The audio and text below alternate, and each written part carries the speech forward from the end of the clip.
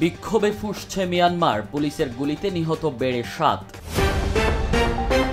মিয়ানমারে অভ্যুত্থানের পর তিন সপ্তাহেরও বেশি সময় পেরিয়ে গেলেও এখনও ক্ষোভে ফুঁসছে গোটা মিয়ানমার। বিক্ষোভ মিছিলে রোববার পুলিশের গুলিতে সাত আন্দোলনকারী নিহত এবং বেশ কয়েকজন আহত হয়েছেন।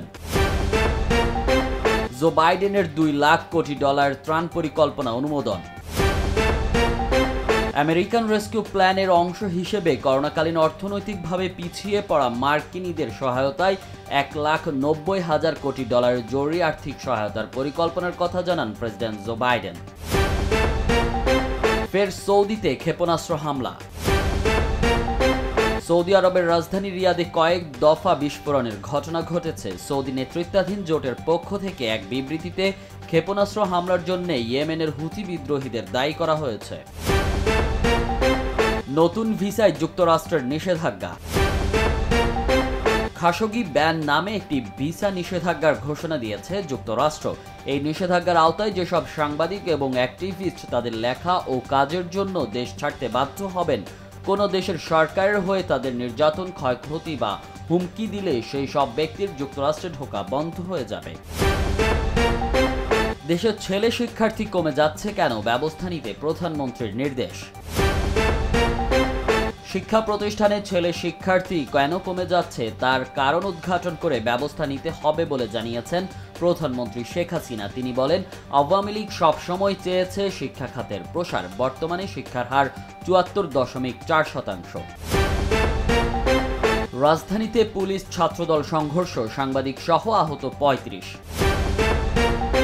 রাজধানীতে জাতীয় প্রেস ক্লাবের সামনে ছাত্রদলের বিক্ষোভ কর্মসূচি ঘিরে পুলিশের সঙ্গে সংঘর্ষ হয়েছে। এই ঘটনায় পুলিশ সাংবাদিক সহ আহত হয়েছেন অন্তত পঁয়ত্রিশ জন। তাদের ঢাকা মেডিকেল কলেজ হাসপাতালে ভর্তি করা হয়েছে। ইউপি নির্বাচনে আর অংশ নেবে না বিএনপি, জানিয়েছেন ফখরুল। আগামীতে আর কোনো ইউনিয়ন পরিষদ নির্বাচনে বিএনপি অংশ নেবে না বলে জানিয়েছেন দলটির মহাসচিব মির্জা ফখরুল ইসলাম আলমগীর। রোববার দুপুরে গুলশানে বিএনপি চেয়ারপারসনের কার্যালয়ে সংবাদ সম্মেলনে কথা জানান তিনি। ডিয়নের জলে পিএসজির গোল উৎসব।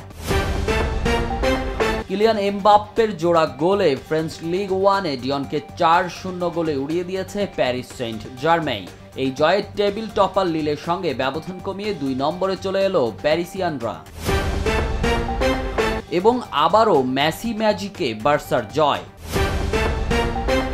আবারও ম্যাসি ম্যাজিক, আবারও জয় বার্সেলোনার। ড্যাম্বেলে মেসি নৈপুণ্যে র্যামন চান্সেস স্টেডিয়ামে সোভিয়াকে দুই শূন্য গোলে হারল কাতালানরা। বিদেশের মাটিতে দেশি মাছের স্বাদ পাওয়া কষ্টসাধ্য। আমরা চাইলে শস্য ইলিশ কিংবা টাকি মাছের ভর্তা খেতে পারি না।